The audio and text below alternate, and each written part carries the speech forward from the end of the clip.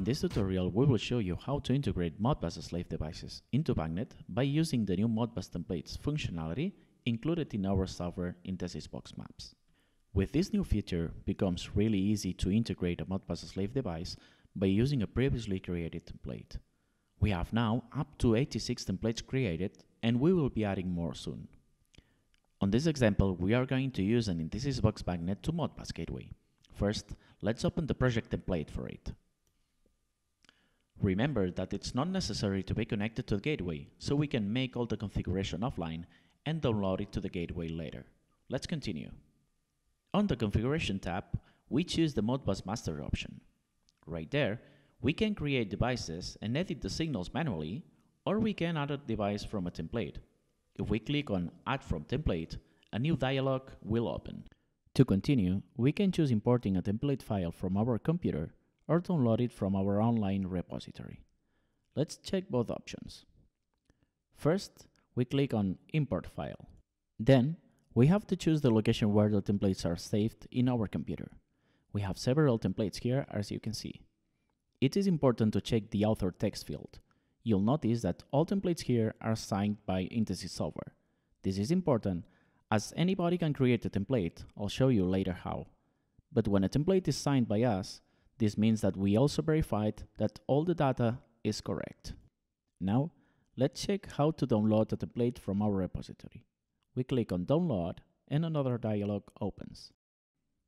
Here, we will find all the templates available. We can use the filters by brand and also by model name.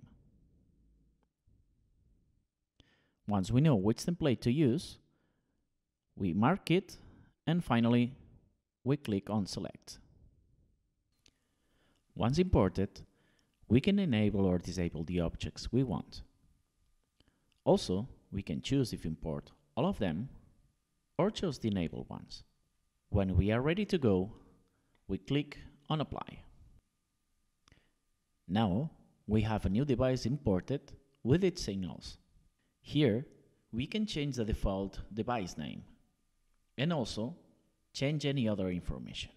If we want to add more devices like this one, we can just select it, then we click on clone, and we have to choose the number of devices we want to add.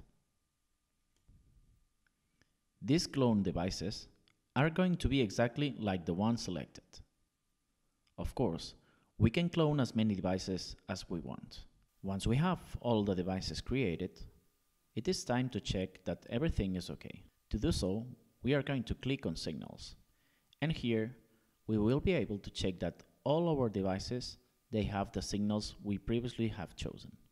Here, we can also activate or deactivate the signals we would like to control. As you can see, it is pretty easy to do so.